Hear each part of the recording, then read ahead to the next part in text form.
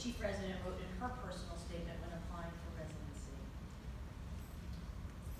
RS was a cancer survivor. By the time I met her, all that remained of her cancer were the physical and emotional scars from her treatment. She was admitted to my internal medicine service for syncope and massive rectal bleeding, and a week-long workup revealed a mass in her jejunum. The surgery, the surgery team began planning a small bowel resection to remove the symptomatic lesion and, lesion and determine if her cancer had recurred. By the time of the surgery, I had come to know RS and her family well. Determined to see her through, I asked permission to scrub into her case. It was a delicate procedure, complicated by her continued blood loss and prior abdominal surgeries, but the team worked deliberately and efficiently. The offending section of jejunum was carefully resected, and I crowded around the dissection table, stunned to find that all of her grief stemmed from a pea-sized, well-circumscribed mucosal lesion. I felt an overwhelming sense of satisfaction. The root of all of her symptoms and discomfort had been swiftly removed and reduced to a pea-sized lesion attached to an otherwise healthy section of jejunum that I held in my hand. Since that moment, I have been unable to imagine a cancer in medicine without that opportunity to interact directly, uh, I'm sorry, to imagine a career in medicine without the opportunity to interact directly with my patients and their unique pathologies. With RS and my subsequent patients, I have come to find that surgery is arguably one of the most intimate forms of medicine. Surgeons have the unique privilege of comprehensively directing their patients' complex management, examining the pathology in situ, and intervening with immediate and measurable impact. I cannot imagine pursuing any other career, and I look forward to cultivating such dynamic relationships with my patients. Dr. Cristina Novak. Dr. Novak's junior residents have said about her, Cristina brings an incredible level of commitment to this program. When I felt like I was drowning, she stepped up to help me and explain each of the parts of being a senior resident to me so that I felt I could take on the task going forward. Cristina was a great chief resident. She was always there to help out when needed, but also taught me to become more self-sufficient and effective. She was an, an excellent teacher and delegated responsibilities effectively to keep the service running smoothly. As an individual, she was also unfailingly positive as well as calm and collected at all times.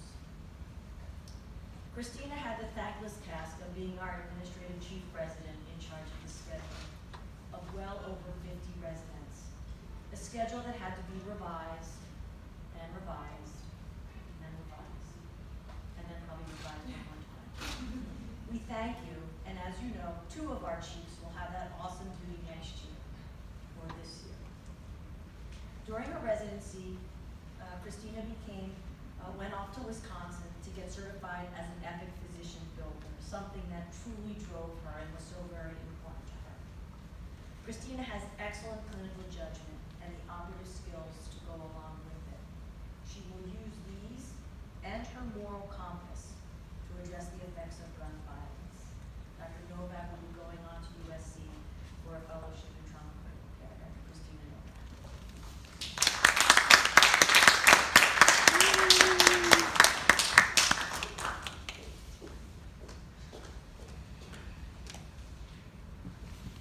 Thank you.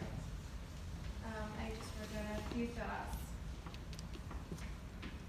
Um, when I was first thinking about surgery as a career, I approached one of the faculty members here um, to ask him what his career was like and if he recommended me that I pursue it.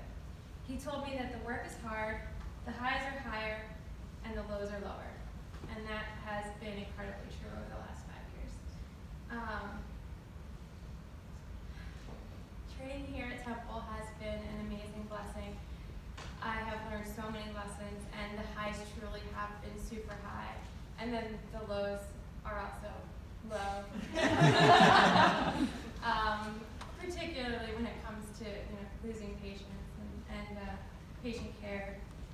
Um, to Dr. Ross, Dr. Dower, Kaiba, and Alexis, it's been a wild year.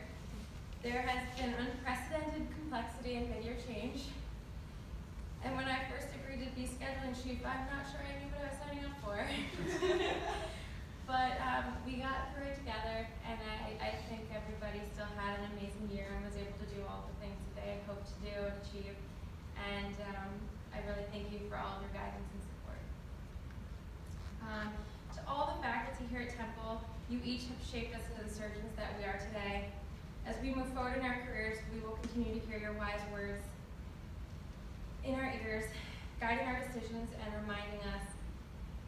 the fundamentals that were so strongly ingrained in us during our training here at Temple.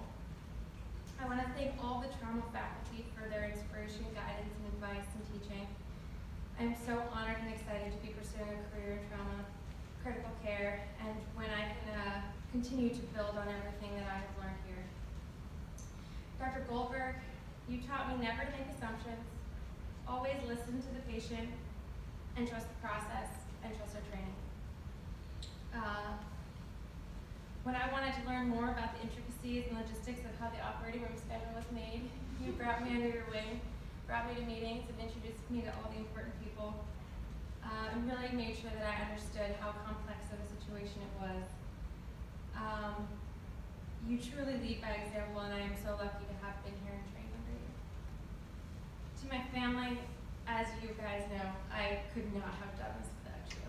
Um, you know, when you're working 24 hour shifts and the basement floods unexpectedly and you guys drop everything to come help me out, it's,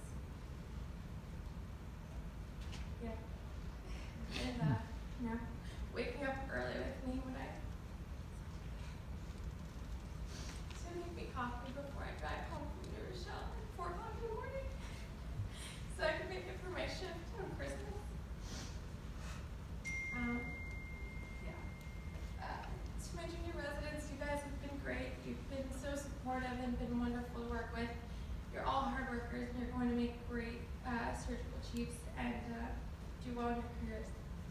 And to my co-residents, you guys have been with you. I did not think I was going to cry. Actually, I joked about how I was the only one didn't cry.